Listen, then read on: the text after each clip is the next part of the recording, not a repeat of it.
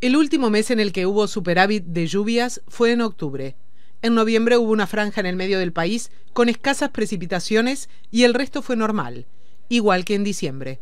Pero a partir de enero, las lluvias fueron más escasas que el promedio. Sobre todo y donde es más marcado es al sur del Río Negro.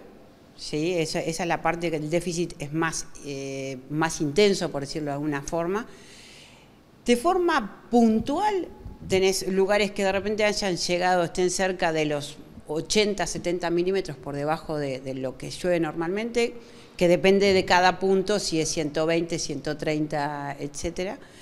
Pero por lo general estuvo prácticamente un 40% por debajo de lo normal, principalmente al sur de Río Negro. Renom explicó que un déficit hídrico es la primera etapa de una sequía. Las sequías tienen como tres procesos. Primero empieza a llover menos, Luego se, define lo que es la sequía agrometeorológica, porque bueno, si no el, suelo tiene una capacidad de retener agua, más allá de que no llueva, y eso depende del tipo de suelo y del cultivo que tenga. Y luego la tercera etapa, cuando ya es muy, intensa, se genera la sequía hidrológica, o sea, ya cuando los cursos de agua bajan demasiado su nivel. O sea que por ahora, al estar en la primera etapa, no habría riesgo en la medida en que se normalizara el nivel de lluvias, por ejemplo, a partir de abril. Ahí está.